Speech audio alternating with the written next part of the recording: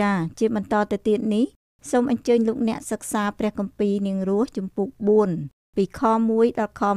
22លោកគ្រូគង្វាលគង់ផនឆុនបកស្រាយដូចតទៅ នាងរស់ធ្វើដំណើរពីស្រុកឆ្ងាយរស់នៅក្នុងចិត្តនឹងគេហដ្ឋាន របស់លោកបូអូសឯមនុស្សយើងក៏ដូចគ្នាដែរម្ដងនោះយើងជាសះដតីមិនស្គាល់ថាព្រះជាម្ចាស់ជាអង្គណាទេក៏គ្មានទីសង្ឃឹមនៅក្នុងជីវិតដែលយើងរស់នៅ ក្នុងโลกនេះផងឥឡូវនេះព្រះលោហិតរបស់ព្រះអម្ចាស់យេស៊ូវបាននាំយើង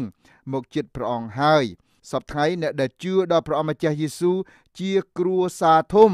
នៅក្នុងព្រះអម្ចាស់យើងរស់នៅក្នុងចិត្តរបស់ព្រះអម្ចាស់យេស៊ូវហើយថ្ងៃមួយយើងនឹងទៅនៅជាមួយនឹងព្រះអង្គឯនគររបស់ទ្រង់ជំពូក4បរិយាយអំពីកិច្ចការដែលលោកប៊ូអូសត្រូវបំពេញដើម្បីលួសគេអកនិងនាងរស់ផ្ទាល់ មកធ្វើជាកម្មសិទ្ធិរបស់លោក ចាប់តាំងពីពេលដែលនាងរស់ទៅប្រាប់ដល់លោកបូអូសថា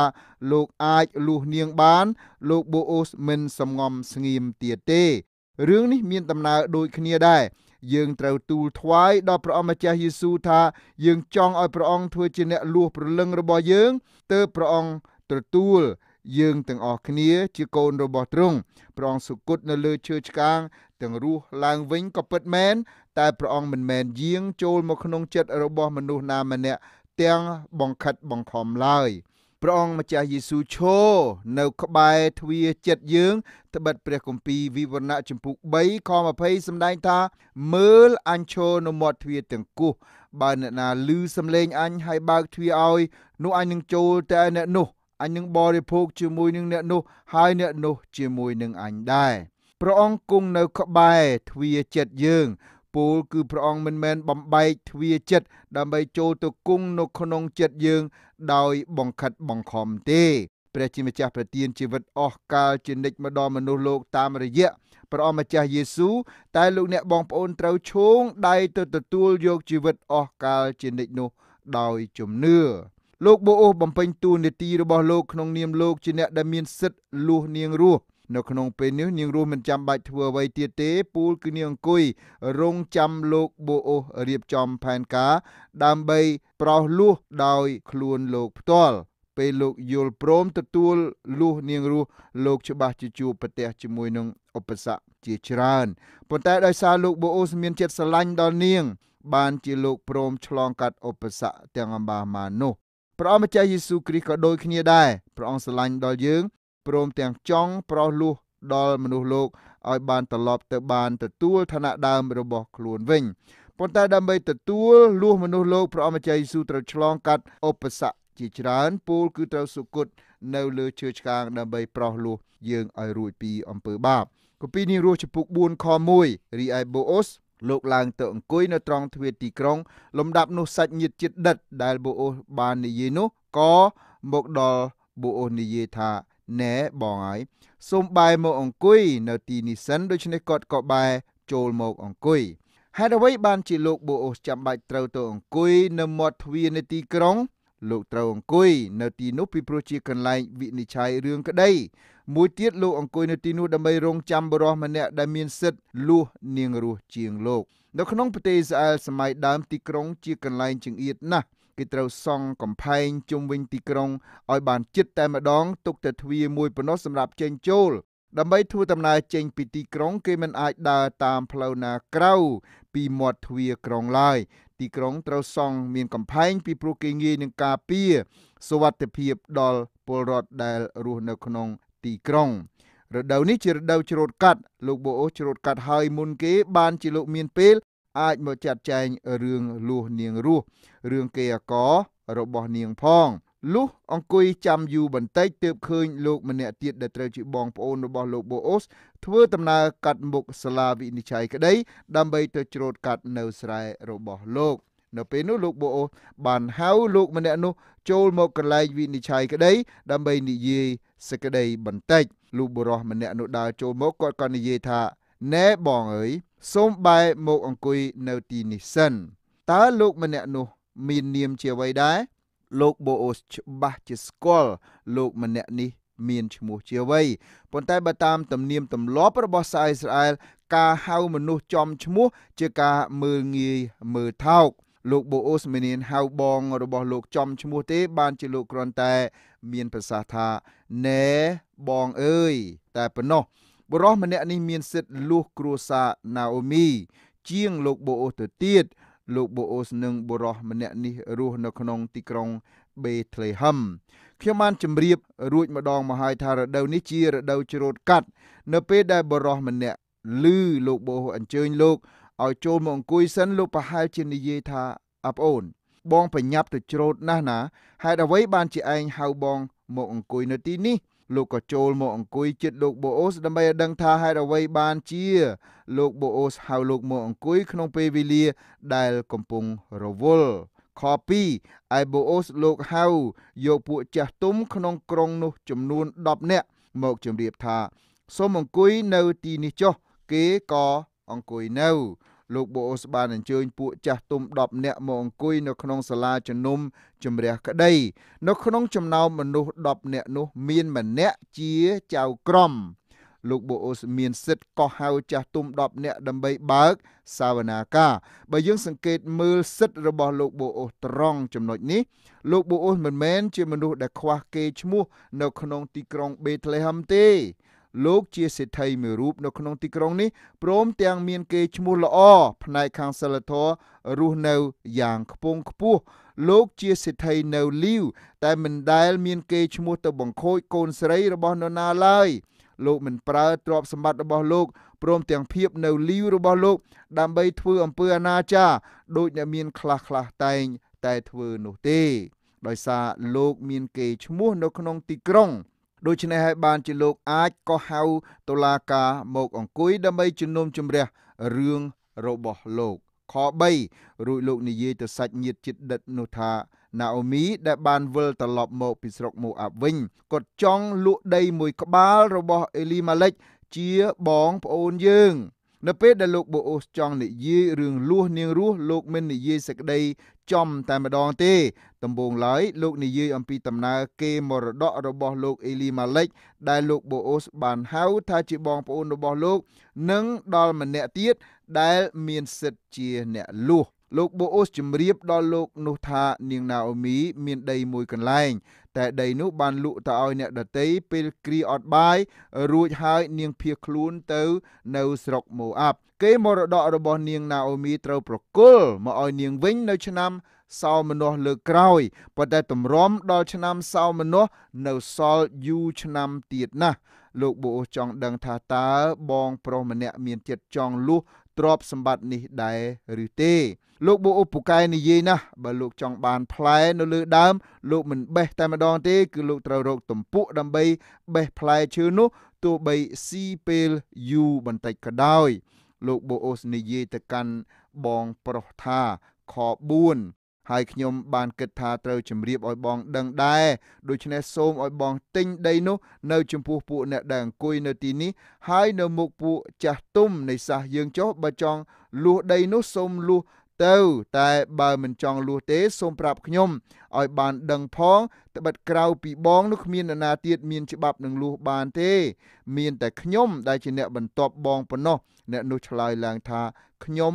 ព្រមលួសដែរ លោកបូអូសផ្ដល់អតិភិបដល់បងប្រុសតើគាត់មានចិត្តលួសដែរឬទេ បងប្រុសនោះមានចិត្តចង់លួសដែរបានជាលោកមានប្រសាសន៍ថាខ្ញុំព្រមលួសដែរលុះឮសម្ដីរបស់បងថាចង់លុះដែរបេះដូងរបស់លោកបូអូសធ្លាក់ពីដើមទ្រូងមកនៅក្នុងមេជើងប៉ុន្តែទោះជាយ៉ាងនោះក៏ដោយលោកមិនទាន់អស់សង្ឃឹមទេព្រោះលោកនៅមានក្បាច់មួយទៀតដើម្បីសួរដល់បងប្រុសនោះ មានលក្ខខណ្ឌមួយទៀតបើលួសទ្របត្រូវលួសម្ចាស់ផងដែរខ5បូជំរាបថានៅថ្ងៃណាដែលបងទិញដីនោះពីណាអូមីនោះត្រូវទិញពីនាងរស់ជាសាសម៉ូអាប់ប្រពន្ធរបស់បងប្អូនយើង ដែលស្លាប់នោះដែរដើម្បីនឹងបង្កើតឈ្មោះអ្នកនោះនៅក្នុងមរតកគាត់ឡើងវិញលោកបូអូសមានប្រសាសន៍បន្ថែមទៅបងថាអូបងខ្ញុំភ្លេចឈឹង ពីព្រោះមានរឿងមួយទៀតដែលតាក់ទងជាមួយនឹងការលួសទ្រព្យសម្បត្តិរបស់នាងណាអូមីនាងណាអូមីត្រឡប់មកពីស្រុកម៉ូអាប់វិញនាំយកកូនប្រសាស្រីម្នាក់មួយមកផងនាងជាសាសម៉ូអាប់ដែលត្រូវជាប្រពន្ធរបស់បងប្អូនជីដូនមួយរបស់យើងទ្រព្យសម្បត្តិរបស់អេលីម៉ាឡិចទាំងបាម៉ានធ្លាក់មកលើនាងហើយបើបងលួសគេអកទាំងបាម៉ាននោះសូមបងលួសនាងរស់មកធ្វើជាប្រពន្ធបងផង លោកបូអូសបញ្ជាក់យ៉ាងច្បាស់ថាកូនប្រសាររបស់នាងណាអូមីជាសាសម៉ូអាប់បរោះម្នាក់ដែលមានសិទ្ធិលួសគេអករបស់នាងណាអូមីនឹកឃើញភ្លាមអំពីដំណើរសាសម៉ូអាប់ក្រឹតវិន័យរបស់លោកម៉ូសេនៅក្នុងគម្ពីរចោទយកថាចំពុក23ខ3ហាម5យ៉ាងដាច់ណាត់ថាសាសម៉ូអាប់ឬសាសអាម៉ូនមិនត្រូវចូលទៅក្នុងពួកជំនុំនៃព្រះយេហូវ៉ាឡើយព្រមទាំងកូនចៅគេរហូតដល់10តំណផង បើបងប្រុសនោះព្រមលួសគេអករបស់នាងណាអូមីគាត់ត្រូវព្រមលួសនាងរស់ផងបើគាត់ព្រមលួសនាងរស់មានន័យថាគេឈ្មោះរបស់លោកព្រមទាំងគេអករបស់លោកទាំងបាម៉ានច្បាស់ជាមានរឿងចម្ពាក់វៈវិនហើយប៉ុន្តែចំណែកលោកបូអូសវិញមិនខ្វល់អំពីរឿងទាំងឡាយដែលកើតឡើងដល់ទ្រព្យសម្បត្តិរបស់លោកទេបើលោកលួសគេអកនិងនាងរស់មកធ្វើជាកម្មសិទ្ធិរបស់លោកលោកបូអូស្រឡាញ់នាងរស់ស្ទើលេបដូច្នេះបានជា ទោះបីធ្វើអ្វីក៏ដោយក៏លោកព្រមធ្វើដែរចំណែកបងប្រុសគាត់វិញមិនស្គាល់ថានាងរស់ជានរណាទេទោះបីពេលខ្លះគេលឺនិយាយលហៀងលហៀងពីគេឈ្មោះរបស់នាង តែគាត់មិនត្រូវការនាងរស់មកធ្វើជាប្រពន្ធគាត់ឡើយខ6អ្នកនោះឆ្លើយឡើងថាខ្ញុំនឹងលួសសម្រាប់ខ្លួនខ្ញុំមិនបានទេក្រែងខ្ញុំបង្ខូចមរតករបស់ខ្ញុំទៅដូច្នេះចូលអ្នកយកច្បាប់របស់ខ្ញុំនឹងលួសចុះត្បិតខ្ញុំលួសមិនបានទេ ខ្ញុំសន្និដ្ឋានថាបរិះម្នាក់ដែលលោកបូអូហៅថាបងនោះប្រហែលជាមានប្រពន្ធមានកូនធំធំប៉ុនលោកបូអូផងគេអករបស់គាត់តាមបាម៉ានបានចែកឲ្យទៅដល់កូនរបស់គាត់រួចបាត់ទៅហើយលោកមានសិទ្ធិមែនតែលោកមិនចង់ប្រើសិទ្ធិរបស់លោកធ្វើយ៉ាងដូច្នោះទេដូច្នេះបានជាលោកមានប្រសាសន៍ទៅកាន់លោកបូអូថាដូច្នេះចូលអ្នកយកច្បាប់របស់ខ្ញុំនិងលួសចុះត្បិតខ្ញុំលួសមិនបានទេ គម្ពីរនាងរស់បន្សល់ទុកនៅសេចក្តីពិតខាងពលឹងវិញ្ញាណជាច្រើនយ៉ាងម្យ៉ាងលោកបូអូសដែលជាអ្នកមានសិទ្ធិលួសដល់នាងរស់គឺជារូបភាពនៃអង្គព្រះយេស៊ូវគ្រីស្ទព្រះអម្ចាស់យេស៊ូវមានសិទ្ធិជាអ្នកលួសដល់មនុស្សលោកគ្រប់ជាតិគ្រប់សាសពីព្រោះព្រះអង្គជាអ្នកបង្កើតមនុស្សលោកគ្រប់រូបឲ្យរស់នៅលើលោកីនេះចំណែកឯបរោះម្នាក់ទៀតដែលមានសិទ្ធិលួសជាអ្នកលួសដល់នាងរស់គឺជារូបភាពនៃក្រឹតវិន័យរបស់លោកម៉ូសេ បរោះម្នាក់នោះមិនមានឈ្មោះទេក្រឹតវិន័យមិនអាចចេញមុខដាក់ឈ្មោះជាអ្វីដើម្បីមកសង្គ្រោះយើងឲ្យរួចពីអំពើបាបបានឡើយ គម្ពីររ៉ូមចំពុក3ខ20សម្ដែងអំពីក្រឹតវិន័យថាហេតុនោះបានជាគ្មានមនុស្សណាបានរាប់ជាសុចរិតនៅចំពោះទ្រង់ដោយអាងការប្រព្រឹត្តតាមក្រឹតវិន័យនោះឡើយត្បិតក្រឹតវិន័យគ្រាន់តែសម្ដែងឲ្យស្គាល់អំពើបាបប៉ុណ្ណោះចំណែកគម្ពីរកូរិនថូខ្សែទី2ចំពុក3ខ9សម្ដែងថាក្រិតវិន័យនាំមកនៅពិរុទ្ធភាពរីឯគម្ពីរកូរិនថូខ្សែទី2ចំពុក3ខ7សម្ដែងថាក្រិតវិន័យនាំមកនៅសេចក្តីស្លាប់ក្រិតវិន័យមិនមែនផ្ដល់មកសម្រាប់ឲ្យយើងរួចពីបាបទេពូលគឺនាំយើងឲ្យស្គាល់ថាយើងជាមនុស្សមានបាប តែប៉ុណ្ណោះក្រិតវិន័យដឹកដៃមនុស្សបាបមកដល់ប្រគល់ឲ្យព្រះយេស៊ូវគ្រីស្ទដើម្បីព្រះយេស៊ូវគ្រីស្ទសុគតជំនួសនៅលើលោកនេះមិនមានជនណាម្នាក់ដែលអាចធ្វើតាមក្រឹតវិន័យ10ប្រការរបស់ព្រះបានទេ មានមនុស្សដែលអួតអាងថាខ្លួនអាចធ្វើតាមក្រឹតវិន័យរបស់ព្រះបានទាំងអស់មែន ប៉ុន្តែបើយើងសង្កេតមើលឲ្យបានល្អិតល្អន់វិញមនុស្សទាំងនោះគ្រាន់តែជាអ្នកដែលអួតអាងតែប៉ុណ្ណោះទេនៅលើโลกនេះមិនមានមនុស្សណាម្នាក់អាចរស់នៅតាមຂ្នាតរបស់ព្រះបានឡើយដូច្នេះបានជាព្រះយេស៊ូវដែលទ្រង់ជាព្រះមានសិទ្ធិលួសមនុស្សយាងមកសុគតជំនួសពិរុទ្ធភាពរបស់យើងទ្រង់បំពេញសេចក្តីនោះដោយសុគតនៅលើឈើឆ្កាងជំនួសអំពើបាបដែលយើងមានទាំងអម្បាមាន ដើម្បីសម្រេចតាមផ្លូវច្បាប់តុលាការលោកបូអូទៀមទាឲ្យបុរសម្នាក់ទៀតត្រូវបំពេញកិច្ចការមួយយ៉ាងខ7រីឯនៅស្រុកអ៊ីស្រាអែលកាលពីដើមចំណែកខាងឯការលួសឬបដូរដើម្បីនឹងសម្រេចគ្រប់ទាំងការនោះត្រូវឲ្យម្នាក់ដោះស្បែកជើងឲ្យដល់ម្នាក់ទៀតការយ៉ាងនោះទុកជាទីបន្ទាល់ឲ្យបានសម្រេចការនៅក្នុងស្រុកអ៊ីស្រាអែលច្បាប់នេះដកស្រង់ចេញពីក្នុងគម្ពីរចោទយកថាចំពុក25 នៅក្នុងច្បាប់នោះបើអ្នកដែលមានសិទ្ធិលួសគេអករបស់សាច់ញាតិបែជាមិនលួសវិញ គេត្រូវដោះស្បែកជើង រួចហើយឲ្យស្ត្រីមកស្ដោះទឹកមាត់ដាក់មុខមនុស្សនោះលោកបូអូសមិនបានបំបាក់មុខបងរបស់ខ្លួនបែបនោះទេលោកបូអូសនាំបងប្រុសនោះទៅតុលាការពិតប្រកបមែនតែលោកគ្រាន់តែដោះស្បែកជើងពីលោកដើម្បីបញ្ជាក់ថាលោកមិនព្រមលួសនាងរស់ឡើយ លោកបូអូសបានបំពេញកាតព្វកិច្ចនេះជំនួសនាងរស់ផ្ទាល់ចាប់ពីពេលនេះទៅបុរសគ្មានឈ្មោះដើរទៅស្រែគ្មានស្បែកជើងទេ ក្រឹតវិន័យរបស់ព្រះល្អណាស់តែប្រៀបឧបមាដូចជាមនុស្សដែលដើរគ្មានស្បែកជើងតើស្បែកជើងជាអ្វីគម្ពីរអេភេសូជំពូក6ខ15សម្ដែងថាទាំងពាក់សេចក្តីប្រុងប្រៀបរបស់ដំណឹងល្អនៃសេចក្តីសុខសាន្ត ទុកជាស្បែកជើង ស្បែកជើង គឺជាដំណឹងល្អក្រឹតវិន័យមិនមែនជាដំណឹងល្អទេក្រឹតវិន័យមិនអាចសង្គ្រោះយើងឲ្យរួចពីបាបបានឡើយខ8ដល់ខ10ដូច្នេះអ្នកដែលមានច្បាប់លួសនោះក៏និយាយទៅបូអូថាចូលទិញដីនោះសម្រាប់ខ្លួនអ្នកចុះរួចក៏ដោះស្បែកជើងរបស់ខ្លួនចេញនោះបូអូក៏ប្រកាសដល់ពួកចាស់ទុំ និងមនុស្សទាំងនោះថានៅថ្ងៃនេះសូមអ្នករាល់គ្នាចាំជាសាក្សីថាខ្ញុំបានទិញទាំងអស់ដែលជារបស់អេលីម៉ាឡិចនិងរបស់គីលីយ៉ូនហើយម៉ាឡូនពីណាអូមីហើយមួយទៀត ខ្ញុំបានទិញនាងរស់សាសម៉ូអាប់ជាប្រពន្ធរបស់ម៉ាឡូនមកធ្វើជាប្រពន្ធខ្ញុំដែរដើម្បីនឹងបង្កើតឈ្មោះរបស់ម៉ាឡូននោះនៅក្នុងមរតកគាត់ឡើងវិញប្រយោជន៍កុំអោយឈ្មោះគាត់ត្រូវកាត់ចេញពីពួកបងប្អូននិងពីទ្វារទីលំនៅរបស់គាត់ឡើយអ្នករាល់គ្នាជាទីបន្ទាល់នៅថ្ងៃនេះឯង ធម្មតាដើម្បីលួសមនុស្សដែលជាម្ចាស់គេអកគេត្រូវលួសគេអកជាមុនសិនក្នុងករណីរបស់លោកបូអូសលោកបូអូសត្រូវលួសគេអកដែលជាកម្មសិទ្ធិរបស់នាងរស់រួចហើយលួសនាងរស់ផ្ទាល់មកធ្វើជាភរិយារបស់លោកចាប់ពីពេលនេះទៅលោកបូអូសមានសិទ្ធិលួសនាងរស់មកធ្វើជាភរិយារបស់លោកហើយលោកបូអូសជារូបភាពនៃព្រះអម្ចាស់យេស៊ូវគ្រីស្ទដែលទ្រង់ជាអង្គមានសិទ្ធិលួសយើងទាំងអស់គ្នារួចពីអំពើបាបលោកបូអូសឥឡូវ បានទទួលគេអាកររបស់លោកកេលីយ៉ូនហើយនឹងលោកម៉ាឡូនមកធ្វើជាកម្មសិទ្ធិរបស់លោកហើយមិនតែប៉ុណ្ណោះលោកក៏ត្រូវទទួលនាងរស់ដែលជាស្រីមីម៉ាយពីលោកម៉ាឡូនមកធ្វើជាភរិយារបស់ លោកដែរខ11ដូច្នេះពួកអ្នកដែលនៅត្រង់ទ្វារក្រុងនិងពួកចាស់ទុំក៏ឆ្លើយឡើងថា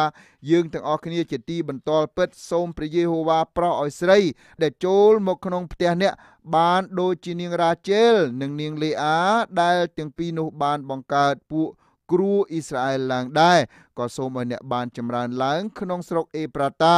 ហើយមានល្បីឈ្មោះក្នុងក្រុងបេថ្លេហឹមផង អ្នកស្រុកបេថ្លេហឹមមានចិត្តរីករាយណាស់ដោយឃើញនាងណាអូមីហើយនឹងកូនប្រសាររបស់នាងត្រឡប់មកនៅក្នុងស្រុកខ្លួនវិញអ្នកស្រុកបានសង្កេតឃើញថានាងរស់ជាស្រីសាសម៉ូអាប់ជាជនស្នាក់នៅ តែមានគេឈ្មោះយ៉ាងល្អនៅក្នុងភូមិបេថ្លេហឹមនាងជាសាសដតីពិតតែជំនឿរបស់នាងលើព្រះអម្ចាស់យេស៊ូវគ្រីស្ទជាអង្គសង្គ្រោះញ៉ាំងឲ្យអ្នកស្រុកបេថ្លេហឹមមិនរាប់ថានាងជាសាសដតីទៀតទេ នៅក្នុងភូមិគេសង្កេតឃើញថា នាងជាស្រីមីម៉ាយតែមិនមែនជាមីម៉ាយដែលចំណាយមាត់គេឡើយនាងមិនដែលបញ្ចេញអកប្បកិរិយាបើកដៃឲ្យប្រុសណាចូលមើលងាយដល់នាងសោះលោកបូអូសង្កេតឃើញអតចរិតរបស់នាងថាជាអ្នកដែលមានកិរិយាមាយាទល្អត្រឹមត្រូវខ12ដល់ខ14 សូមឲ្យអ្នកបានបង្កើតគ្រួសារឡើង អំពីពូជដែលព្រះយេហូវ៉ានឹងប្រទានដល់អ្នកដោយសារស្ត្រីនេះឲ្យបានដូចជាគ្រួរបស់ពេរេស ជាកូនដែលនាងតាម៉ាបានបង្កើតឲ្យយូដាដែរដូច្នេះបូអូសបានយកនាងរស់ធ្វើជាប្រពន្ធក៏ចូលទៅឲ្យនាង ហើយព្រះយេហូវ៉ាទ្រង់ប្រោសឲ្យនាងមានទម្ងន់បង្កើតបានកូនប្រុសមួយ នោះពួកស្រីស្រីគេនិយាយនឹងណាអូមីថាសូមឲ្យព្រះយេហូវ៉ាដែលទ្រង់មិនបានទុកអ្នកឲ្យឥតមានសាច់ញាតិជិតដិតនៅថ្ងៃនោះ បានប្រកបដោយប្រពោសូមឲ្យលោកបានល្បីទូទៅក្នុងពួកអ៊ីស្រាអែលពួកស្ត្រីចាស់ចាស់ទាំងនោះនិយាយមកកាន់នាងណាអូមីដូច្នេះពីព្រោះគេយល់ថានាងណាអូមីអស់គេអករបស់ខ្លួន ពេលដែលចាក់ចេញពីស្រុកកំណើតទៅរស់នៅក្នុងប្រទេសដទៃ ឥឡូវនាងណាអូមីត្រឡប់មកវិញចាំបាច់ត្រូវមានសាច់ញាតិជិតដិតណាមួយ ជួយលួសគេអកទាំងនោះមកឲ្យខ្លួនវិញ ឥឡូវនេះលោកបូអូសចូលមកបំពេញតួនាទីជាអ្នកដែលលួសគេអករបស់នាងមកវិញហើយដោយសារមូលហេតុនោះបានជាអ្នកស្រុកបេតលេហឹមមានចិត្តអសប្បាយគ្រប់គ្នាដោយឃើញថានាងណាអូមីបានទទួលគេអករបស់ខ្លួនមកវិញតាមរយៈលោកបូអូសសពថ្ងៃមនុស្សក្នុងលោកយើងនេះត្រូវការព្រះមួយអង្គដែលអាចលួសគេឲ្យរួចចេញពីអំពើបាបលោកីសពថ្ងៃមានបាប មនុស្សដែលរស់នៅលើលោកីភៀកច្រើនមិនដឹងថាខ្លួន មានដើមកណើតមកពីណាហេតុអ្វីបានជាចាំបាច់ឲ្យរស់នៅលើលោកនេះឯទីបំផុតមិនដឹងថាគេធ្វើដំណើរទៅទីណាទេបើលោកអ្នកពិនិត្យមើលទឹកមុខរបស់មនុស្សដែលធ្វើដំណើរទៅវិញទៅមកយ៉ាងប្រជ្រៀតគ្នាក្នុងទីក្រុងភ្នំពេញលោកអ្នកបងប្អូនឃើញស្រាប់ហើយ បើគេដឹងពិតប្រកបថាគេពិតជាទៅទីណានោះប្រហែលជាមុខរបស់គេមិនមែនមានការជ្រួញចិញ្ចើមភ្នែកប្រឹងហើយគំនិតវិលវល់យ៉ាងដូចនេះទេចំណែកកូនចៅរបស់មនុស្សលោកក៏ដូចគ្នាដែរគេស្មានថាចំនួនគេច្បាស់ជាសម្បូរសបាយជាងចំនួនម៉ែឪហើយផ្ទុយទៅវិញនៅចំនួនកូនកូនគេជួបប្រទះជាមួយបញ្ហាម្យ៉ាងទៀតដែលធ្ងន់ធ្ងរជាងកាលចំនួនដើមជួបប្រទះទៅទៀត មនុស្សលោកនៅលើលោកនេះរស់ដោយគ្មានទីសង្ឃឹមពីព្រោះគឺគ្មានព្រះយេស៊ូវជាអ្នកដឹកនាំគេមនុស្សលោកគ្រប់រូបត្រូវការព្រះមួយអង្គដើម្បីលួសគេឲ្យរួចពីអំពើបាបយើងតែងតែឃើញមនុស្សប្ររពធ្វើពិធីបុណ្យណូអែលឬបុណ្យព្រះអង្គមានបញ្ជូនរស់ប៉ុន្តែមិនមានលក្ខណៈណាដែលធ្វើឲ្យបុណ្យទាំងនោះតាក់ទងជាមួយនឹងព្រះអង្គម្ចាស់យេស៊ូវដែលជាអង្គយាងមកដើម្បីប្រោសលួសដល់មនុស្សលោកឲ្យរួចពីបាបឡើយ ខ15ដល់ខ16គោនេះនឹងបានសម្រាប់ជាទីតាំងជីវិតរបស់អ្នកឡើងវិញ ហើយនឹងចិញ្ចឹមអ្នកក្នុងកាលដែលចាស់ផងត្បិតកូនប្រសាស្រីដែលស្រឡាញ់អ្នកហើយក៏វិសេសដល់អ្នកជាជាងកូនប្រុស7អ្នកផង នាងបានបង្កើតវាមកណាអូមីក៏យកកូនតូចមកបីបំហើយថែរក្សា កូនដែលនាងរស់បង្កើតឲ្យបូអូសត្រូវជាចៅរបស់នាងណាអូមី នាងណាអូមីមានវ័យចំណាស់ហើយពេលបានចៅមួយនេះ នាងមានចិត្តរីករាយយ៉ាងខ្លាំងខ17ឯពួកស្រីជាអ្នកចិត្តខាង គេដាក់ឈ្មោះកូននោះថាអូបិតដោយថាមានកូនប្រុសមួយកើតមកឲ្យណាអូមីនោះហើយជាឪពុកអ៊ីសាយដែលជាឪពុកដាវីត អ្នកចិត្តខាងឃើញថាណាអូមីស្រឡាញ់ចៅស្ទើលេបបានជាគេដាក់ឈ្មោះកូននោះថាអូបិតដែលប្រែថាអ្នកបំរើ ឬអ្នកថ្វាយបង្គំទារកនេះមិនមែនជាប់សាច់ឈាមអ្វីជាមួយនឹងនាងណាអូមីទេ តែបើតាមផ្លូវច្បាប់វិញកូននេះជាចៅរបស់នាងណាអូមីបង្កើត កុមារនេះធំឡើងធ្វើជាបំរើដល់ជីដូនខ្លួនមែនពីព្រោះនាងណាអូមីមិនមានកូនប្រុសទាំងពីរនៅថែគាត់ទេដូច្នេះតួនាទីដែលជាអ្នកថែទាំនាងណាអូមីគឺធ្លាក់មកលើលោកអូបិតនេះហើយទ្រព្យសម្បត្តិទាំងបាម៉ានដែលណាអូមីមានក៏ត្រូវប្រគល់ឲ្យចៅដែលនៅក្រោមការថែទាំរបស់លោកបូអូសនិងនាងរស់ម្យ៉ាងវិញទៀតលោកអូបិតមិនមែនគ្រាន់តែជាអ្នកបម្រើជាដូនប៉ុណ្ណោះទេគឺជាអ្នកថ្វាយបង្គំ